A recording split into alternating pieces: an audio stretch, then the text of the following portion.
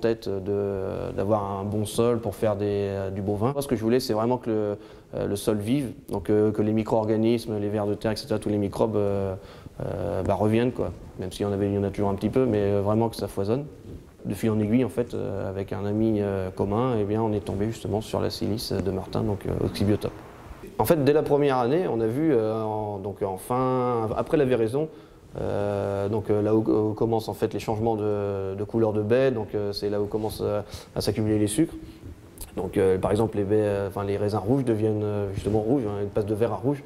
Et euh, bah, on a vu au niveau du feuillage qu'on avait un feuillage qui était beaucoup plus soyeux. Et c'était flagrant. Parce que par rapport aux autres vignes, on a des vignes de voisins, des fois, il y a pas, évidemment, il n'y a pas la silice.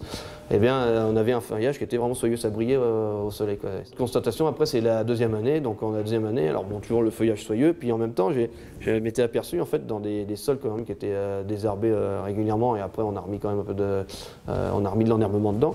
Mais là où c'était toujours désherbé, donc dans le cavaillon, eh ben, je m'apercevais qu'il y avait que, que j'avais pas avant. Mais j'avais des, euh, des petits trous de vers de terre. Vous voyez que je commençais à avoir des vers de terre.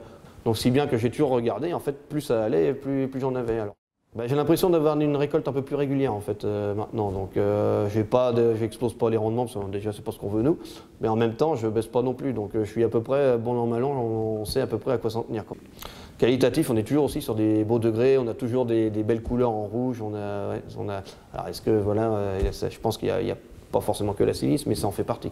Ce n'est pas non plus euh, le, produit miracle, mais par contre, ça, y contribue fortement.